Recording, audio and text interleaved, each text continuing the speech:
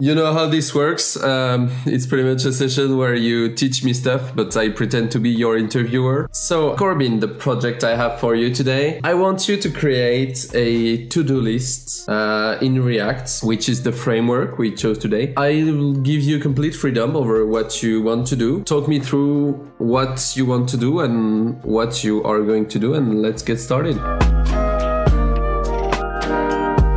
Yeah, so what I was thinking is that we could do a, a simple little to-do app today where we have the ability to add a task, we can uh, remove a task, and then finally we can edit a task. Sure.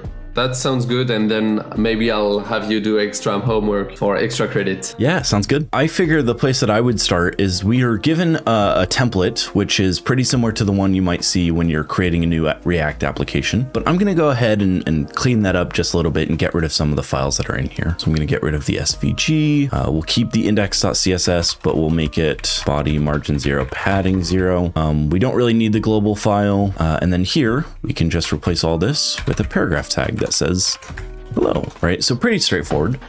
Um, I'm noticing that our CSS still seems to be applying some kind of dark mode to the background. So that's easy enough. Let me see where that's coming from. Well, it's coming from the iframe. Okay. So let's go ahead and change the body background to white just so that we can kind of see what we're working on. There we go. While one of the things that I'm thinking about is that while applications like this could use something like Redux, and you know, we could go into our shell and we could do, you know, npmi Redux. I think that it's going to be a little overkill for an application as simple as this. If we only have one screen that's a to-do app, yes, we could use global storage of some kind, but it's usually a feature that I like to add a little bit after having an MVP of some kind.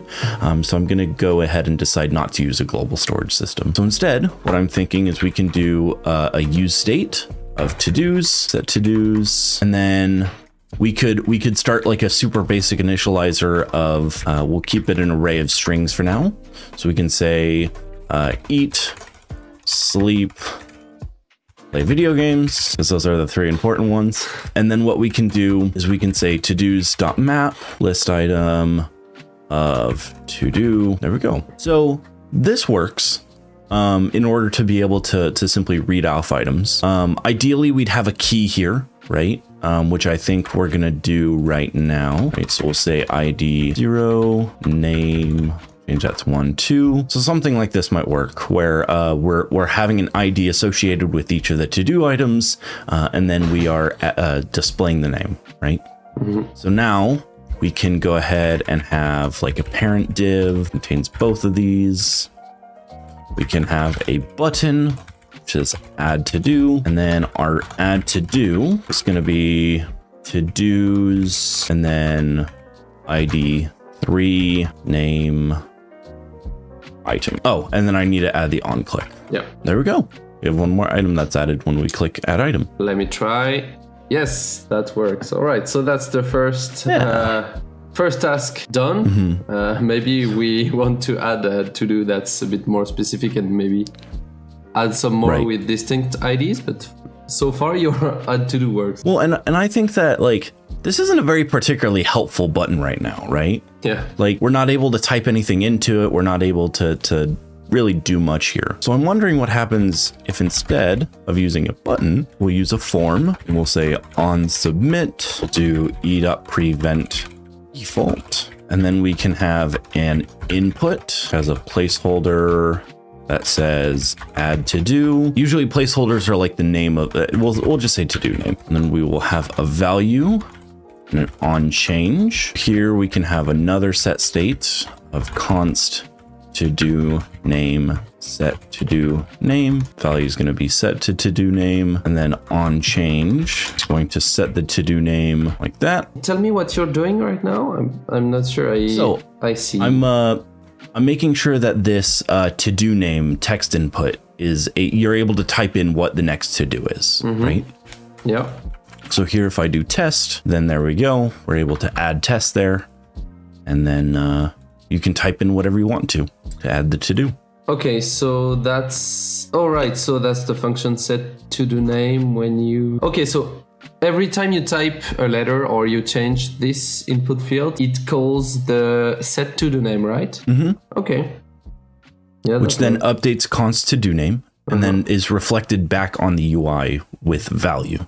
Okay. Um, there is still a problem uh, with this implementation, and I think you had mentioned it earlier, where our ID isn't being like incremented. yes. IDs are really tricky in React to get right because there's like, especially if you're doing server side rendering, there's a mismatch between what can be generated on the server versus what's generated on the client. Um, is it safe to assume that we're only generating things on the client and we're not server side rendering? Of course, yes. Cool. Okay. Uh, in that case, what I'm going to do is I'm going to say ID and set ID. Actually, I'm going to start this at three because we already have our, our use state going up to 2 we We're going to say ID, and then we're going to set ID set to ID plus plus. Cannot assign to ID. Oh, hang on. There we go. So the reason why this works, um, because what used to happen in older versions of React, I think it was before React 17, so React 16, is that when you did a set to do set ID back to back, it would actually re-render twice. Um, but nowadays in React 17 and 18, um, they are actually batched together. So it only triggers one re-render, even though I'm calling a set in two different places. Okay. Just a quick question. Um, I'm pretty sure I'll, I know the answer, but uh, just to make sure. Can you tell me what this prevent default means and what it's used for? So why why do you put that there? Yeah, so uh, this add to do. Oh, I'm sorry. I actually need to get rid of it from this button. Um, this add to do is added on top of this on submit, right? Mm -hmm. Um, and by default, the submit behavior on a form will actually refresh your browser page, um, and it'll prevent any further actions from occurring. Mm -hmm. So if I get, if we comment out this line of code, and we rerun it, and you try to add a to do, you'll notice that it actually blanks out your page and refreshes. Yes. So now this prevent default is just skip the refreshing and keep going the page, right? Okay. Yep. Sounds good. So now we've managed to edit any kind of, uh, well, sorry, to add any kind of notes with the text we want. Um, so next you put in your README is, well, removing or editing. Which which one do you want to do first? Uh, let's do removing. I think there's something cathartic about being able to add an item and then immediately remove it. Yes, sure. So here what we can do is inside of this list item, I'm gonna expand it out a little bit. Uh, I'm gonna add a button. And we'll say delete. I forgot the syntax for a second. so I'm going to be passing in. Oh, that's not auto completing, right? What I'm going to do is I'm going to uh, pass the ID to an on delete function, right? So this on delete function will accept an ID, and then we will set to dos to to dos filter is not equal to the current ID, right? So now if I click delete on sleep, it gets rid of it. Nice. I'm just checking that I can add a few more and delete them. Um, but yeah, that appears to be working. Nice. Okay, well, now let's edit maybe. So how do you want to Okay. to manage the addition of notes? So I'm thinking that we should have like maybe like an edit state next to each of these items, right? So we can have an edit button, a delete button, and when you trigger the edit button, it'll toggle on and off which of these you want to edit. So we can do a button. We can say edit and add another on click. So we'll have an on edit function. And what I'm thinking is that you should only be able to edit one of the to dos at a time, is kind of what I'm thinking. So let's do a const um, to do edit ID, and this can either be a null or a string, which is ID, right? Yeah. So here on edit will be as simple as uh, assigning that. Wait, sorry. You're saying the ID is a string? Here I can see it's in. Sorry, int. yes. Yep, you're correct. It's a it's a number. Okay. Uh, I just wanted to make sure because I'm not super familiar with uh, React. I'm just watching the show right now, but uh, if I can help help catch a bug or two and give a Yeah. few ideas, uh, that's good. I'm used to like database calls where you have like a UUID v4 or something that generates for um, your IDs. Yeah. So that was my mistake. Um, and then what we can do is we can say fragment. So, what's a that comes from React. What what's a Well, fragment? fragment is really interesting in React. So, like in the DOM, you might have uh, like a div and then an li and then uh, another div, right? But you want to wrap, like here, let, let me actually create a new file. So inside of here, uh, what we could have is in the DOM, we could have uh, a UL, and then underneath a UL, we would expect to see an LI, right? So what if you wanted to add in like a for loop, right? Mm-hmm. Or a map, and you wanted to render two different LIs here, right? Like mm-hmm. for each item in the list, you want to render two individual list items. Yep. Well, you could do something like this. Okay, right? yes. But then the problem is that now you have a div in between your unordered list and Yeah. your list items, I right? see.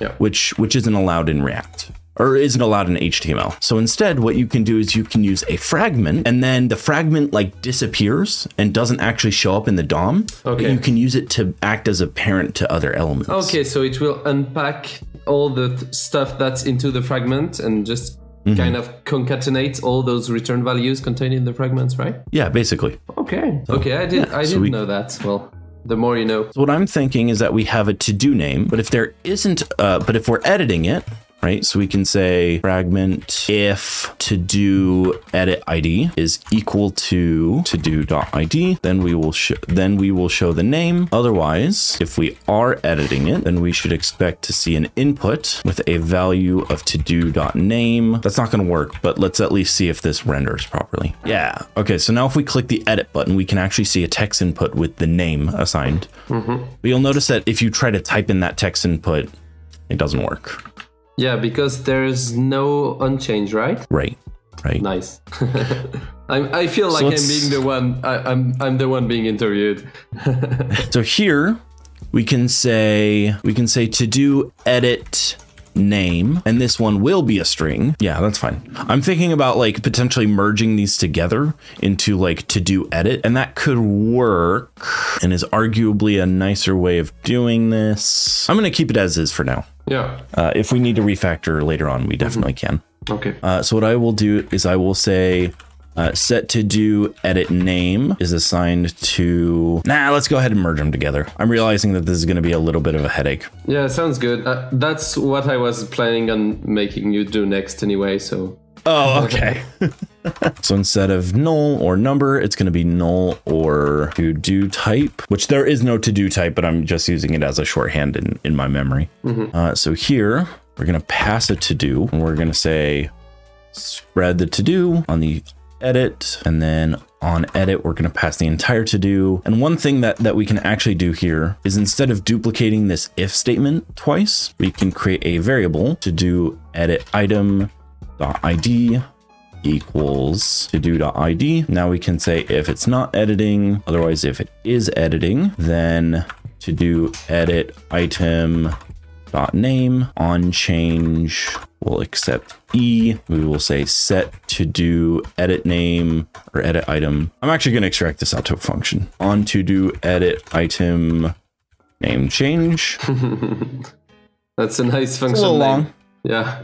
yeah it's a little long but it's per, it's descriptive which i think mm-hmm. is more important Yes. so let's pass in e and name so const new name is e dot target dot value and then name is set to new name uh, i seem to have some kind of error uh, cannot access property id of oh oh i need to add a question mark here there we go So why is that that you need the question mark there? so to do edit item may be null Oh yeah. right? So if it's null, it's cannot access property. Okay, I get get it. Right, right. So this question mark specifically says um, if this is null, stop there, don't continue any further. All right. So here we can edit sleep. We can say sleep one, two, three. Ah, but there's no way to exit edit mode right Yeah. now. So let's say if we're not editing, then go ahead and have a button that says edit. Mm -hmm. Otherwise, if we aren't, if we are editing, then we'll say done and our on edit will be passed with null. Our on edit needs to change a little bit because otherwise it would try to spread the null operator, which won't work. But now it appears that it's not saving what we just input. Yes, true, true. So now we need to change this uh, on edit null. We need to say on done edit.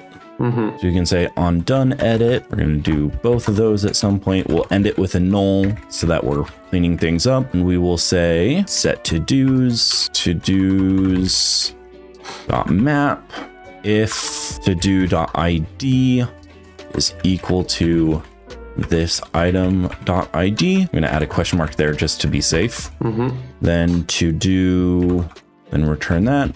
Otherwise, return that. We need to return in here. There we go. That works. Yes, nice. So I was looking at your code, uh, well, your main page. I see there's, um, well, here you're checking if, uh, can you see what I'm highlighting? Yeah. Yep. So here I can see you're doing this if we are editing, uh, well, if, if we are not editing that bullet, then another condition, then another one and another one. Do you have Yeah. a way of merging them so like both of those not editing and both of those uh, which are when editing are under the same kind of condition? We could. I'm going to actually argue that we shouldn't. Okay. which is probably an unpopular opinion. So I, I know in programming concepts there's something called dry, which is don't repeat yourself, right? Um, and we definitely are repeating ourselves here, right? yes. But I think that the likelihood of adding more buttons is going to increase, right? Like like as a feature goes on, you might want to drop down arrow, you might want to be able to right click in a menu item. Like there's a lot of different stuff you might want to add here. And I think that by having these items separate, it allows you to keep like a, a level of separation between those items. Now, what we could do, one, one thing that we could do that would actually be fairly straightforward is we could say, do this, otherwise do that, right? That's something we could do. Um, but overall, I think that that's as far as I'd want to merge them. I wouldn't want to merge all of that together. That that ternary for readability, I don't really like that. I don't like it either. Yeah. So let's let's Um, go back to the original code. It's yeah, it's good. I I understand your argument. um, yeah, let's let's keep it like this. It's uh, Okay. All right. Uh, well, we've managed to create the basic to-do list app. Uh, I like it. A little ugly though. Sure, yes. So here's what I suggest we do. We switch channels. So the CodinGame video will end right about now and uh, we'll continue making the list better on CoderPad. So, so what I'm thinking, what we could do on your channel would be, well, making the CSS a bit, well, less empty to make the, the Right. page uh, more beautiful. Then perhaps adding some persistence. So when we refresh the page, it stays that way and it doesn't uh, reset the page. Um, and maybe a few other funny things that we may have some fun doing. So thank you, Corbin, um, and we'll see you on your channel. All right. Sounds good. See you there.